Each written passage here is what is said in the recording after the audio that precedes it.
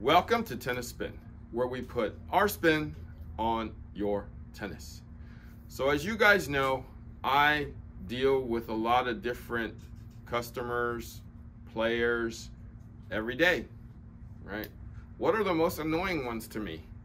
Well, I'm gonna tell you today. Stay tuned.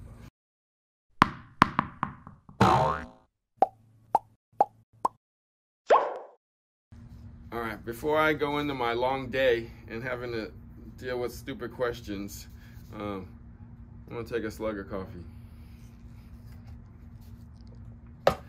Guys, thank you so much for supporting my coffee habit. It keeps me up and uh, keeps me pretty happy. So thank you in advance. If you want to support my habit, buy me a coffee backslash tennis spin. Link is below. Thank you in advance. All right, guys.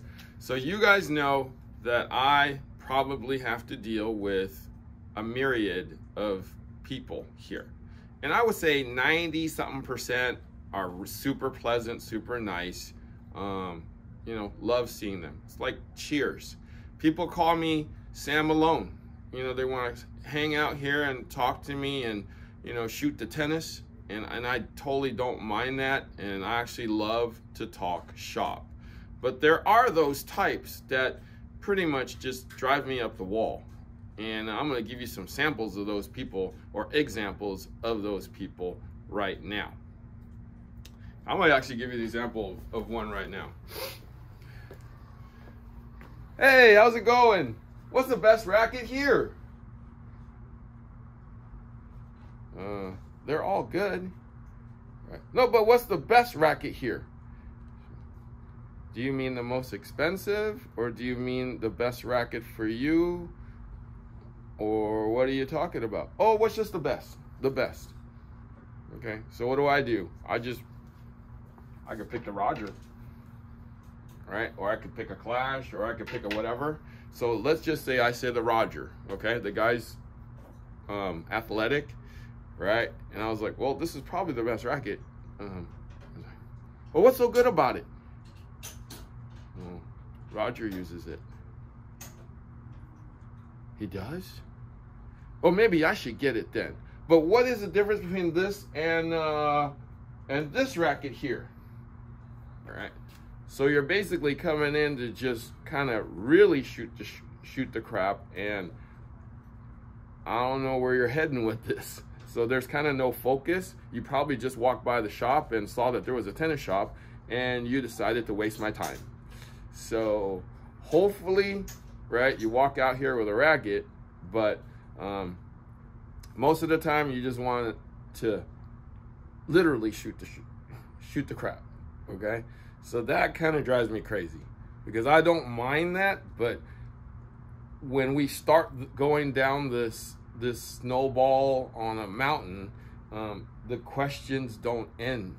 Like we go from this and then we go to, oh, what does Rafa use? What does Novak use?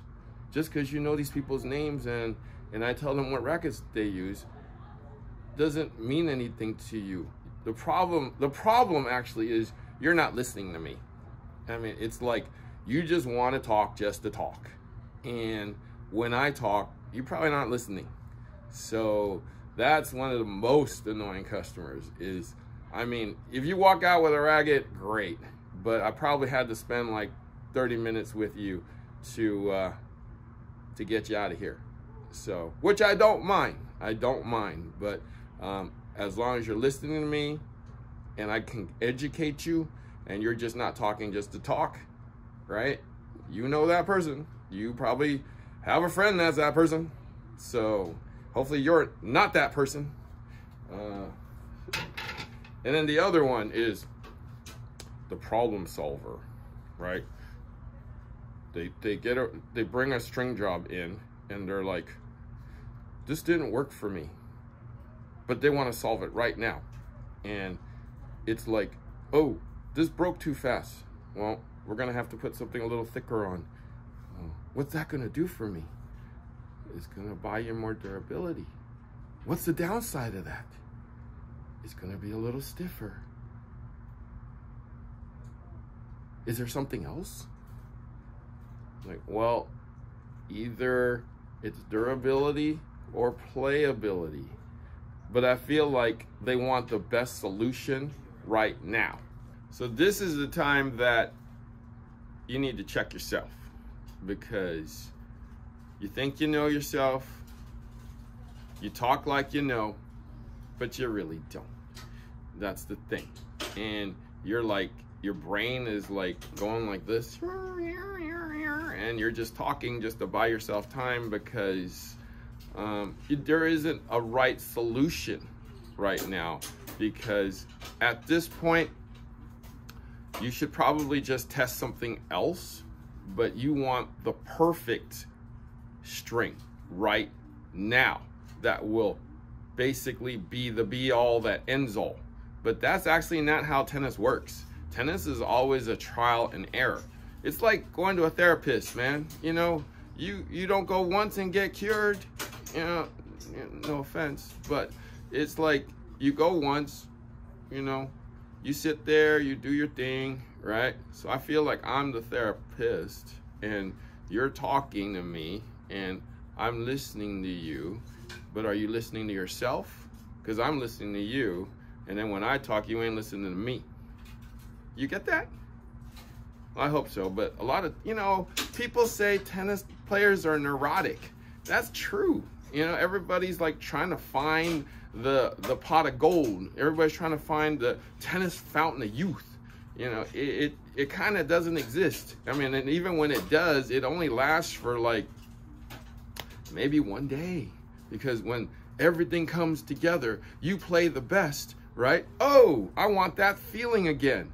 But it is hard to get that feeling again because we're expecting our racket to perform, our strings to perform, you to perform. And for all that to come together, you know, it doesn't even come together for the pros. So it is tough to ask for that. So, guys, there is no such thing as solution solving right now. That's the thing. We can't, you can't come in and expect perfection right now without some type of trial and error. Like, this is why people have multiple rackets. I mean, the people who play a lot, they have four or five rackets and they're all different because it depends on the day. Some days you're great with this racket, some days you're great with that racket, but sometimes you just need a change, right? Sometimes you, you know, that's why when people come in and they ask for the perfect setup, the perfect setup, well, that could be perfect for literally one outing. And then what happens? Right? You need a different feel on the next one possibly. But it, it's, you know, what I'm trying to tell you is there is no such thing as perfect. Tennis is a game of mistakes. So, and we cannot um, basically answer all the questions in one sitting because you have to essentially try things. So at the end of so at the end of it all, I mean, sometimes I just have to take evasive action and kind of take control of the situation. And this is when I take the racket and, no, I'm just kidding. Uh, but sometimes I kind of have to be a little aggressive and say, this is what you need, you know, and this is how it needs to be done. And you'll like it. And I would say about 97% of the time I'm right. Um, I just, they just needed a little nudge or, or a little kick off the, the, the ledge, you know, just so that they can just clear their brain and get focused again. Because sometimes when they're talking, it's just, it's like spiral fibers, you know, where are we at here? Where are we at? You know, so maybe do a little research before you walk in. Um, but definitely, you know, trial and error. Test the strings, test the rackets with the strings, test the tensions, right? Go thinner, go thicker. You know, there's no right answer. All right, and the last customer that I literally adore, but um, are kind of out in space. Um, I got grandma coming in or the mother coming in, and they're like, oh, my kid's gonna be the next Roger Federer or Novak Djokovic. I'm like, oh, great. Um, How old is he?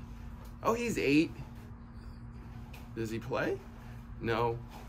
He's Like, but he's so good. He runs around good and he hits things and you know he doesn't miss the, the lemons in, in the in the yard with a with a baseball bat.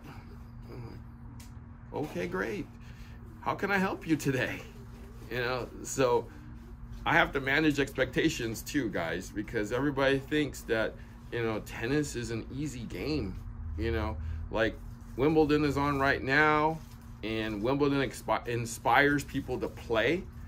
And for some reason, people who are couch potatoes watching tennis, especially Wimbledon, because it's like you know the the number one slam that everybody likes to watch. Oh, that's easy. I can play that. You know, it's kind of like Bob Ross. You guys know who Bob Ross is? You know that painter with the fro. You know, he makes painting look so easy so that everybody thinks that they can paint like him. And he makes it, he teaches you like, oh, this is, you know, you can paint a masterpiece, right? You can play tennis like a pro. And people come in, yeah, who are beginners. Oh yeah, I'm a, I'm a, I'm a intermediate player. You play right? You ever play before? Oh yeah, I used to play when I was little. like, okay, suddenly you intermediate again. Okay, I get it. Got that Bob Ross moment, you know. And I'm gonna have to talk you out of ledge and sell you a, well, sell you a real racket, okay? But those are the three types of customers that I kind of have to deal with um, on a deal on a daily basis. Um, I understand, you know, I've been in the business long enough, so but um, just so you understand that I understand that uh, that I know you and I see when you walk in with that big head of yours. Guys, I got someone to introduce you to. This is intern Cass, and he is going to take you out today. Thank you for watching Tennis Spin, where we put our spin on your tennis.